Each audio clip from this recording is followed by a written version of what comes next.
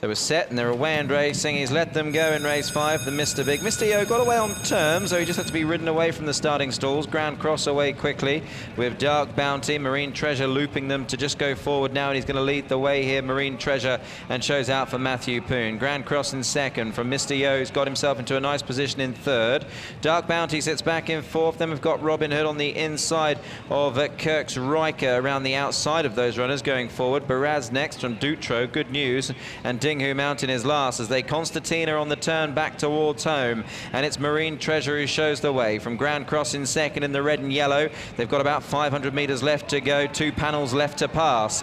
Back in third is Mr. Yo. Kirk's Riker on the outside. Dark Bounty travels well. Baraz is ridden on the inside. Dutro now beginning to range up on the outside as they work inside the final uh, 300. It's Marine Treasure on the inside. Mr. Yo, though, coming under full bore here from Vorster. Grand Cross in the centre. Baraz running on from Dark Bounty. Grand Cross just running into the path of Mr. Yo. They're spread across the track. Marine Treasure, Grand Cross, Baraz, Mr. Yo as they hit the line. Marine Treasure.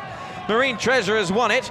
Baraz has probably run second, a close enough go for third and fourth there. Grand Cross and Mr. Yo. Uh, they uh, they did come more stand side. Dark Bounty in behind them. Robin Hood next. Kirk's Riker, uh, Dinghu Mountain, Dutro, and good news uh, was towards the rear of the field.